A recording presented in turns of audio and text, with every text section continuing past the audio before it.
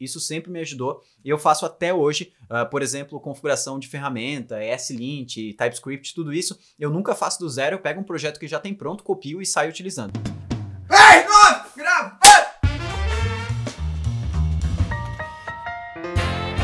Fala Dev, beleza? Bem-vindo a mais um PR, o seu quadro preferido de quinta-feira aqui no canal da Rocket City.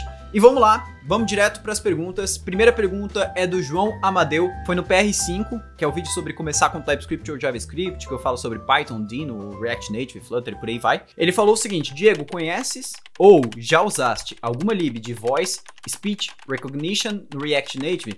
Do tipo, eu falo arroz e a library entende e me retorna um texto do que eu falei. Já usei, João, uma vez eu estava produzindo um, um, vídeo sobre isso. E se eu não me engano, daquela vez eu utilizei uma lib do Google, eu acho que era Google barra Speech Recognition. Eu sei que o Google ele tem vários serviços para essa parte, mas você pode utilizar também o IBM Watson. Mas essa lib que eu utilizava, ela era basicamente uma lib que você botava no React Native, colocava a chave de API do Google, né? Ativava a API lá dentro da plataforma do Google é uma plataforma paga, então, assim, mesmo que tenham recursos gratuitos, tu vai ter que botar cartão e tudo mais, no Watson também. E aí saí utilizando e funcionava muito bem, muito bem mesmo, assim, eu botava o texto, falava e ele traduzia exatamente tudo, assim, inclusive tinha termos técnicos, dá para fazer aprendizado de máquina, era bem bacana mesmo, assim. Então, eu utilizei da Google, mas eu sei que o IBM Watson também funciona muito bem e é fácil de ser aplicado. Vamos lá para a segunda pergunta, que foi do Brian Brian Torres Ribeiro. Ele falou: Olá, Diego, me tira uma dúvida. Como você era no início da carreira? Conseguia pegar os códigos rápidos ou demorava bastante? E também às vezes percebo que quando estou estudando algo novo, sempre dou uma desligada no meio da videoaula. Apenas continuo escrevendo os códigos e quando percebo não aprendi nada. Alguma dica ou isso é mal de júnior? É totalmente comum. Na verdade, essa desligada que tu dá é, é, é, é normal, principalmente, sei lá, não sei se tu já uh, leu algum livro, né? Às vezes tu tá lendo, lendo, lendo, daqui a pouco tu para, meu Deus, eu não parei para prestar atenção realmente no que eu tô lendo, né? Eu só li. Isso é normal, acontece muito, tem pessoas que têm mais, tem pessoas que têm menos. Mas no começo da carreira eu era assim também, eu não, de não decorava código. Uma coisa que me ajudou bastante desde o início foi ter um lugar, por exemplo, o GitHub, onde eu coloco todo o código que eu faço. Porque é muito mais fácil eu consultar um código que eu já fiz do que lembrar aquele código. Então a dica que eu te dou nesses momentos é não tenta decorar código. Ninguém é um robô que consegue decorar todo o código, mas tenha uma boa base para você consultar códigos anteriores. Ou seja, se você já criou alguma coisa, você não deve ter a necessidade de, de uma próxima vez ter que estudar de novo para criar a mesma coisa. Você vai olhar o seu código antigo e você vai fazer, hum, lembrei como eu resolvi. E aí você resolve da mesma forma. Então crie essa base, mesmo que agora vá começar pequena, com o tempo isso vai se tornando algo maior e vai te ajudando bastante. Isso sempre me ajudou eu eu faço até hoje, uh, por exemplo, configuração de ferramenta, S-Lint, TypeScript, tudo isso, eu nunca faço do zero, eu pego um projeto que já tem pronto, copio e saio utilizando. Próxima coisa aqui, a próxima pergunta, na verdade, foi do Igor Lamonier. Ele falou, Diego, como você se mantém atualizado e em constante aprendizado? Se possível, dê dicas. Hashtag PR.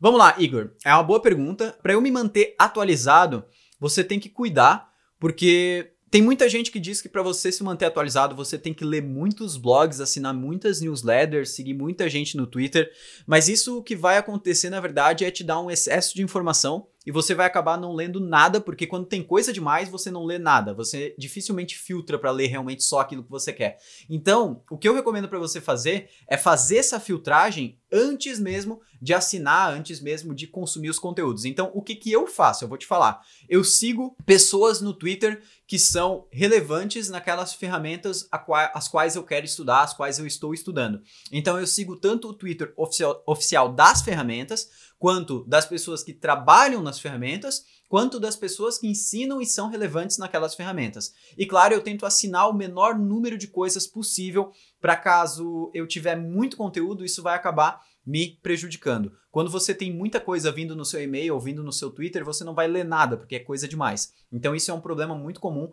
que é de excesso de informação. E basicamente, uh, ah, para me manter em constante aprendizado, é nunca parar de estudar. Então, sempre que eu encontro algo legal, eu vou lá e tento aplicar aquilo num projetinho, coloco no meu GitHub e eu sempre tento definir objetivos, né? Então, eu vou criar um objeto, um objeto, eu vou criar um projeto porque eu quero aprender exatamente esse conteúdo aqui. E aí tem até um vídeo muito legal que eu fiz aqui dentro do YouTube que se chama Criando um projeto para o seu portfólio, que foi uma masterclass que eu basicamente mostrei o passo a passo de como você ter uma ideia e escolher exatamente o que, que você vai incluir nessa ideia para não se tornar um projeto que demanda muito tempo e que você vai desistir no meio dele. Então, esse vídeo ficou muito bacana porque eu consegui reunir vários insights que eu tive ao longo de toda a minha jornada, de todos os dois mil projetos que eu deixei de lado e parei o desenvolvimento no meio, uh, dentro de um vídeo para que eu conseguisse dar essas dicas para vocês. Então, assiste esse vídeo porque ele é muito bacana mesmo. Próxima pergunta uh, do Henrique Martins. Ele falou: Fala, Diego.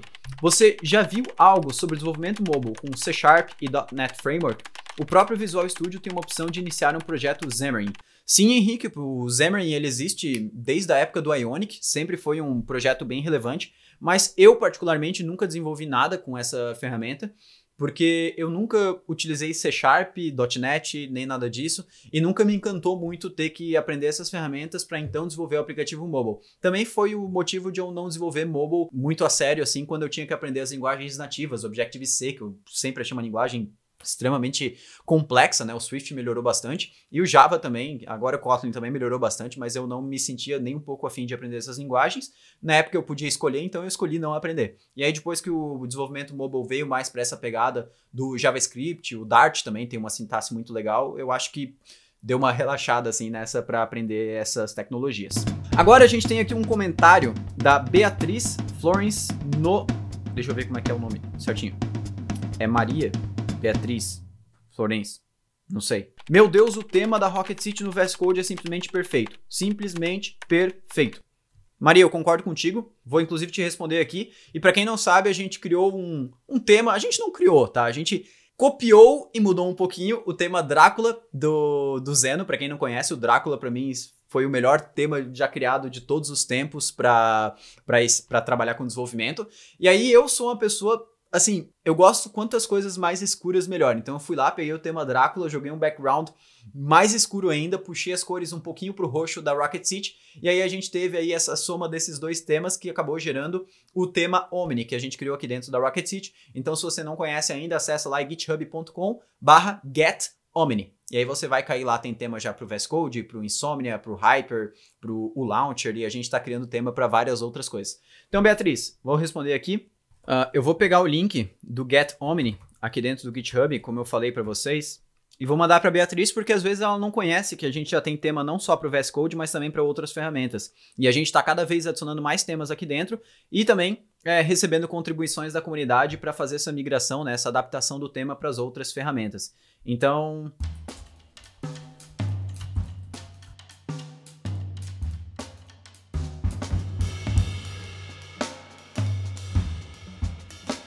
Então é isso aí, isso aqui foi mais um PR aqui no YouTube. Lembrando que toda quinta-feira eu tô aqui de novo para responder as suas perguntas e as perguntas de toda a comunidade através desse quadro. Não esquece de deixar todas as suas dúvidas aqui embaixo se quiser botar uma hashtag PR aqui para ser mais fácil a gente encontrar que você quer que a sua pergunta saia no próximo vídeo.